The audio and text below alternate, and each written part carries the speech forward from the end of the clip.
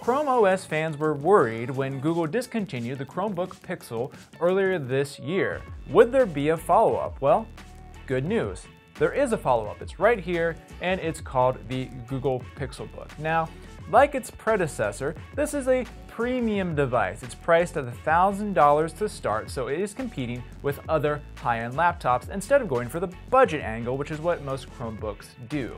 Naturally, at that price, you have to wonder, is it worthwhile to get a Chrome OS device? Let's take a closer look.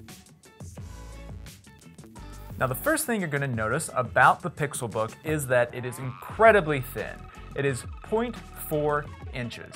And that's thin for any laptop, but it doesn't quite tell the whole story because as it turns out, a lot of that thickness is actually in the display lid. If you look at it edge on here, you can see it's fairly thick relative to the overall chassis.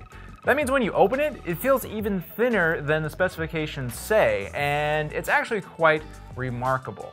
Now otherwise, the overall look of the device is going for synergy with the Pixel smartphones. That's definitely a big brand for Google now, and as you can see, if you look around this two-in-one, uh, it has a very similar look with the two-tone and the use of glass on the lid. It's pretty handsome and it's a little unique uh, it looks a little bit different from any other laptops on the market, so that's good to see. Now, one minor downside to this design is that glass is slippery, and if you happen to be toting it around this way, you're gonna notice you have a little bit of a hard time keeping a hold of it. Now, it's not that big of a deal because you can always just carry it the other way, or you might just be carrying it around when it's open.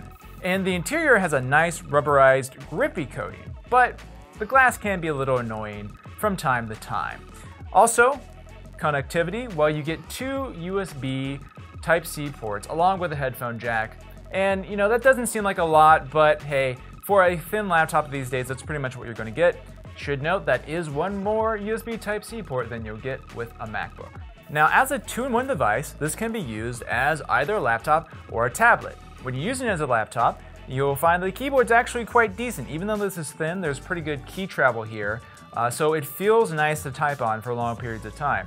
Touchpad is pretty good as well. It's got a nice glass surface, very slick, very responsive, so really no complaints from that angle. Now, when you fold it over to use it as a tablet, uh, it feels pretty decent.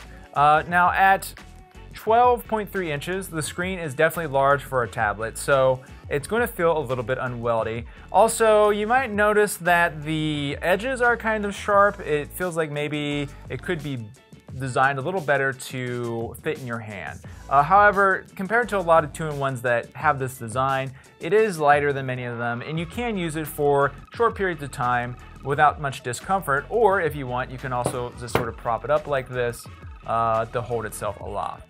Now, one other thing worth mentioning is that in both laptop and tablet use, you'll notice the display is great. It's a 3 by 2 form factor display, so it's a little bit uh, more square than most displays. Gives you a little more useful space in that 12.3 inches. It's also very bright, it has a good pixel density, and it has great colors. So in general, if you're watching videos, looking at photos, they're all to really pop. Now one of the major new features of the Pixelbook is the active stylus.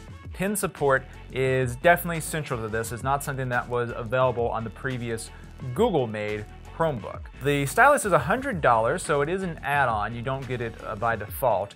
Uh, and while it looks, it looks very nice uh, from afar, it's a bit chunky. Uh, it really feels more like a marker than a pen. So it can be kind of uncomfortable to use if you're trying to do a lot of handwriting. It seems more su suited for highlighting.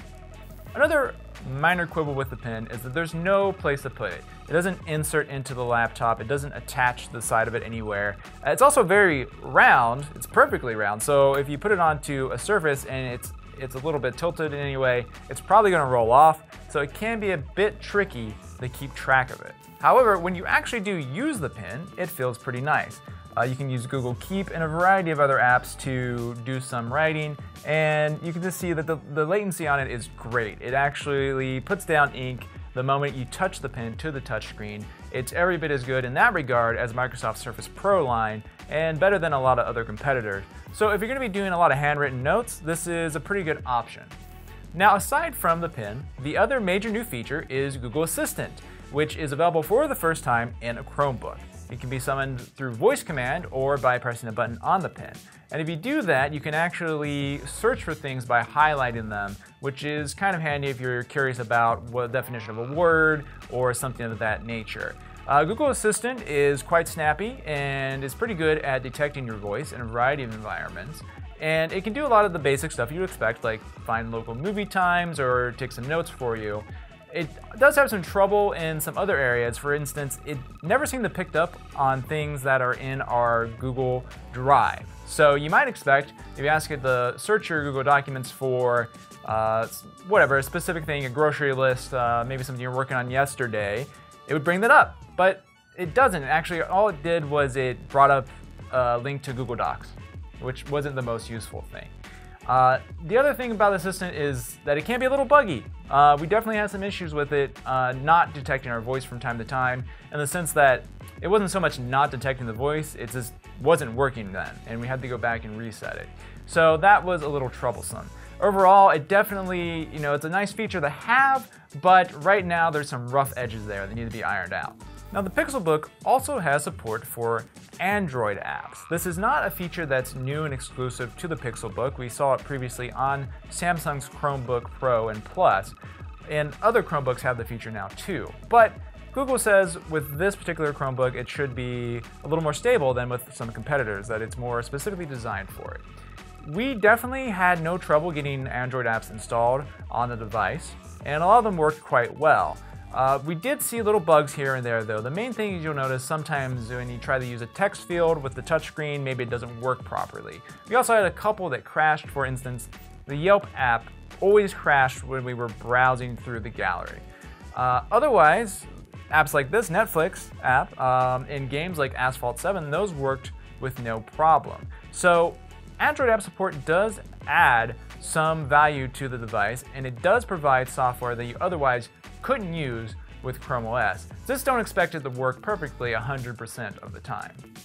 Now, the Pixelbook is available with Intel Core M processors of Core i5 or i7 variety.